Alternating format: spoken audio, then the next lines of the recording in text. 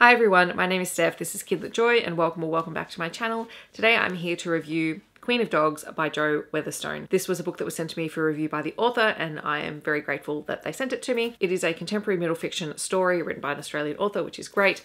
And I'm going to start off by reading you the blurb. Maddy's family are talented and ambitious. Sporting trophies, top grades, they collect them all, but Maddy would rather just spend time with her best friend, her pug Gusto.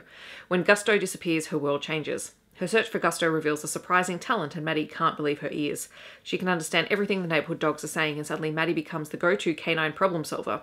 But when more and more dogs go missing, Maddy finds herself with a much bigger problem, and she's going to need a lot of friends, two legged and four legged, to help her solve it. So, this is the story of Maddy. She doesn't really fit in with her family. Her family are very much the go getters. Her parents have jobs that keep them busy. Her two siblings are involved in a lot of sport. They achieve academic success, and Maddy is just not the same. She doesn't fit in with them, and she feels very much at times like she just she's with the wrong family. As the synopsis of the book says, she would much rather spend time with her dog Gusto and she just loves and adores him and just takes the best of care with Gusto. And when he goes missing, it's absolutely devastating for her, and her family really struggle to understand why she's so devastated, why she can't move past it, because to them, like having a dog is actually more of an annoyance than anything else because they've got sporting commitments to get to, they've got academic award ceremonies and things to attend and work to get to. And Maddy just, she can't after Gusto disappears because she's devastated. And as she is continuously searching for Gusto, she finds that suddenly she can understand the dogs and she's been really kind to a lot of the neighborhood dogs for a long time. So they know her and they recognize her. Eventually they help her with and eventually once more dogs go missing, they join her in trying to track down what uh, track down who and what is behind all of the missing dogs. And she's trying to keep a lot of this from her family. Her siblings are the first ones to catch on that something is going wrong.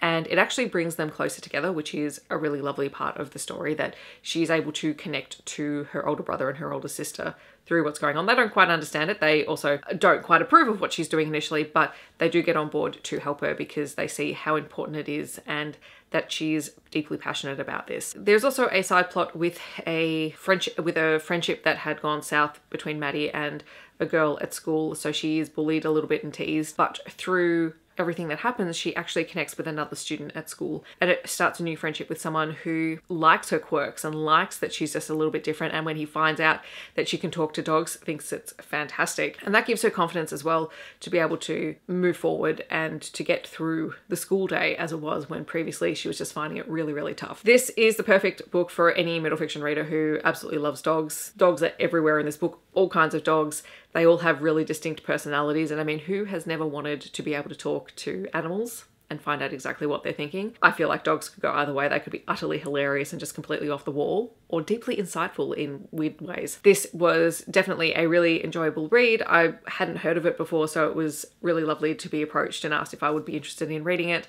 so that I can share it with other people. And also, just have a look. There's so many dogs on the cover. It's really nice. This is a great contemporary middle fiction story. I will leave links to where you can find out more information about both the book and the author down below. In the comments, I would love to know if you could ask a dog anything, what would you ask them? And if you don't have a question for a dog, you can just leave a dog emoji to let me know that you're here. Otherwise, I hope that wherever you are in the world, you're staying safe and healthy, and I'll see you in my next video. Bye everyone.